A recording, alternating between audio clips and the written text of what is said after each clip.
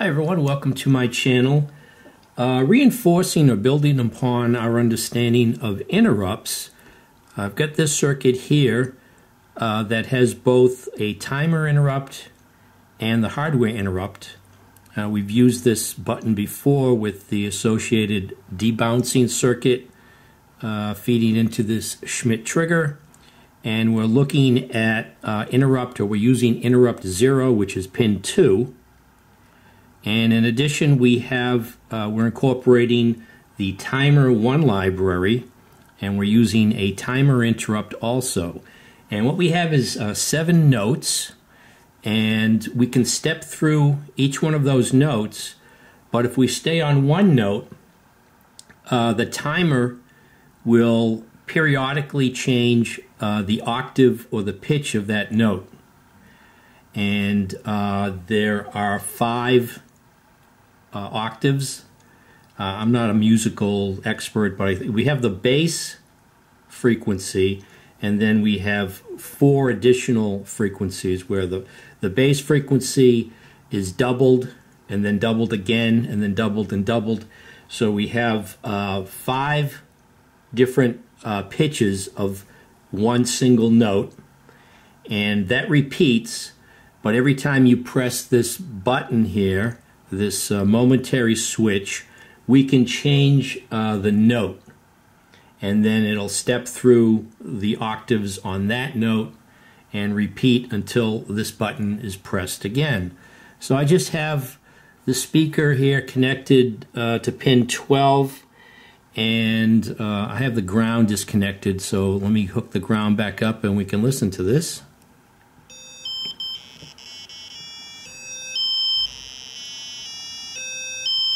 And I'm also uh, using serial print so we can monitor uh, the frequencies.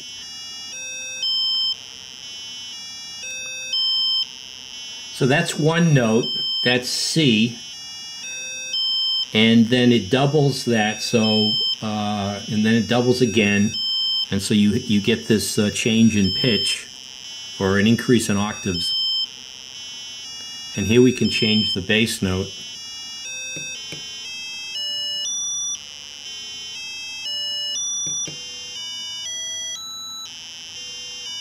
E, F and its octaves, G associated uh, with its octaves, A, B, and then it goes back down to C.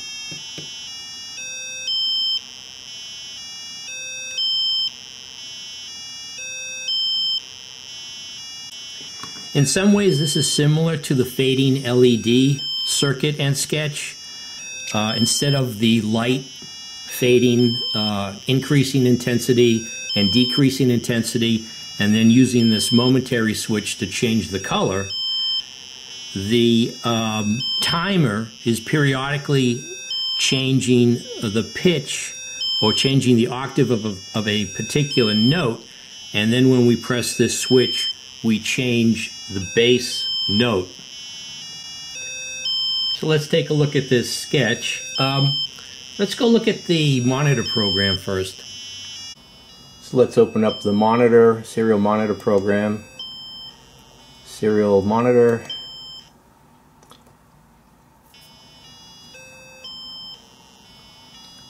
And you can see there the frequencies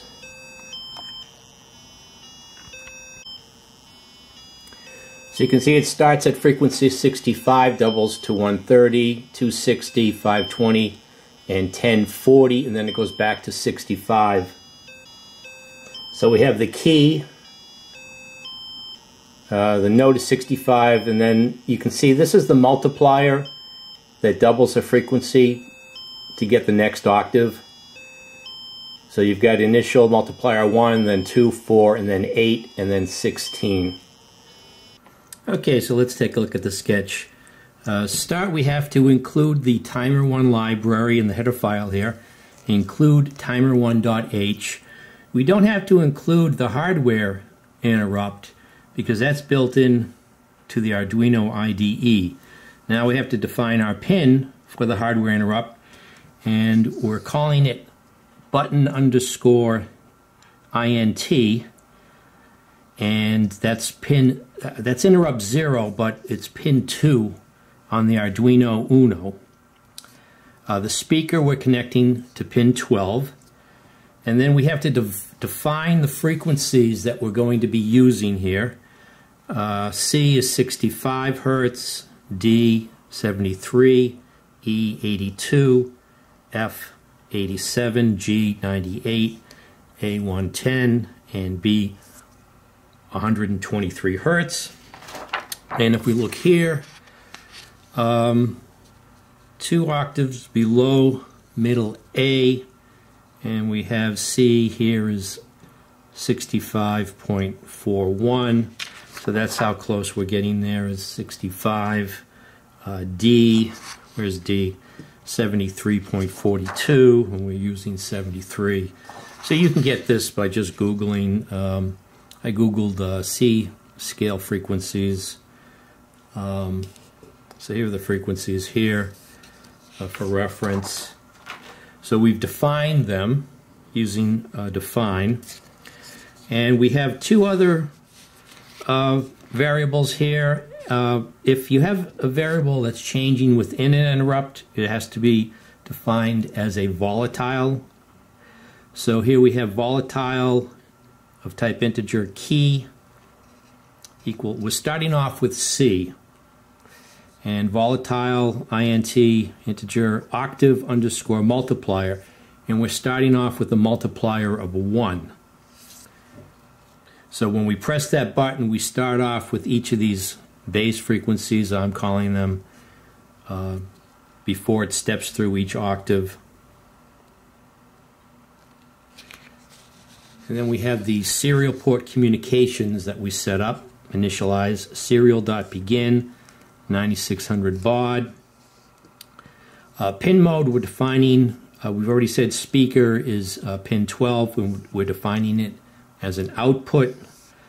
Uh, the pin is inverted, so we want to look at the rising edge. Remember, it's going through the Schmitt trigger, so here we're attaching the interrupt to uh, pin 2, and this is a button which we defined uh, button underscore int we've defined as interrupt zero.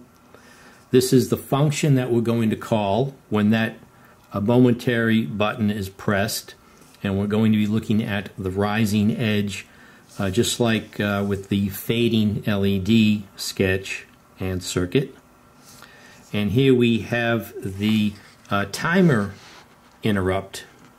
So we have to uh, have uh, timer 1 dot initialize.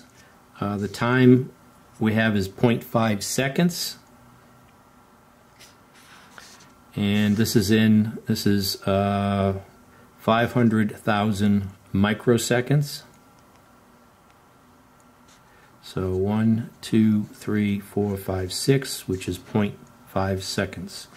Here we have timer one dot attach interrupt and this is the function that gets called for the timer interrupt and runs change pitch on each timer interrupt. So every 0.5 seconds, it calls this function here, change pitch. And now, uh, this is, uh, like I said, similar to the fading LED, uh, where we had only three colors, I think, so uh, this is how we determine, you know, we we'll, we know what color we're on, and when the interrupt occurs, it says, okay, I know I'm on this color. I know now to switch to the next color.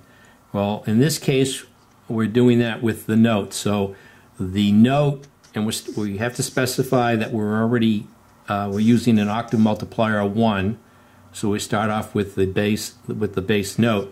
So here we start off with C. So if key note is C, if we're, if we're already on C and the interrupt occurs, remember this is the change key function,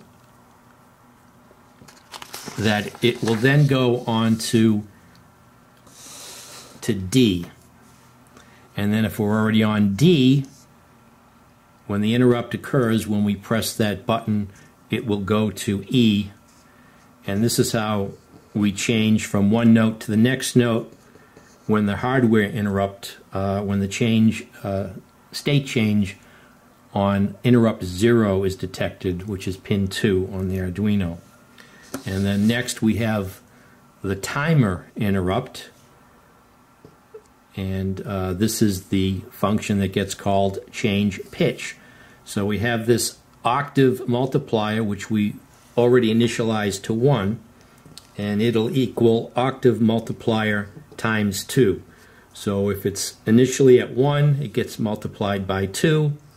And here we're checking, because we're only going to go up uh, to 16.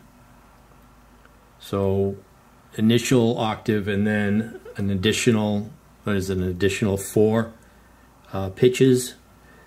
So as long as we're still under 16, as long as the octave multiplier is still uh, below 16, uh, as soon as it's greater than 16, it goes back down to, to 1, so it equals 1.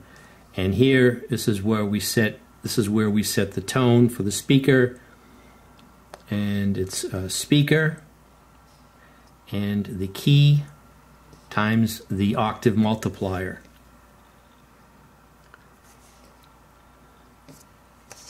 And then we have the void loop for the serial print where we're going to print uh, the key, uh, the multiplier, the frequency, and then we have a delay. I found that this delay here of 100, uh, it's too slow. Um, well, the, the delay isn't long enough.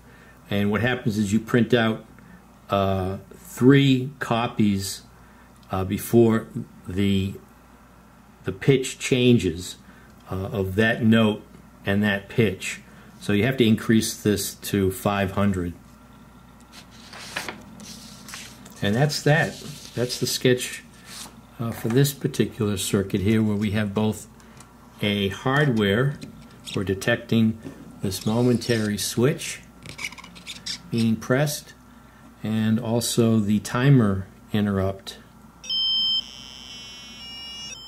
Okay, so if we look at the monitor, serial monitor program again, you can see what's going on here with the serial print. Um, we have the base frequency now of 65 and then showing the multiplier 2, 4, 8, and 16 and then the associated frequency and that's cycling through at 0.5 seconds uh, for each interval and that's the um, that's the uh, timer interrupt And now the hardware interrupt will change this note, the 65, to the next note, which is D, which is 73. You can hear the, the change there. And we're on auto scroll, so that has to scroll up to the field of view here of the camera. Give it a second. And there we are at 73. And then we double that and double it again and then when it reaches 16 the uh, multiplier gets reset to 1 and it repeats and each one of those is 0.5 second interval again the hardware we can uh, step up to the next frequency which is 82 which is uh, note E again has to scroll up I guess I, sh I should just put that at the bottom, focus on the bottom there. Okay, so that's better. We're at the bottom of the screen, so you can see it more uh, quickly. So we're at E, let's go to F, 87 hertz, G, 98 hertz, A, 110, and then B, 123. And then on the next uh, press of this momentary switch, the interrupt will uh, set this back to C. So we're back down to 65. So I hope this uh, reinforced your understanding of interrupts, both timer interrupts and hardware interrupts. If you found this video interesting or helpful, please subscribe, like, and or comment, and thanks for watching.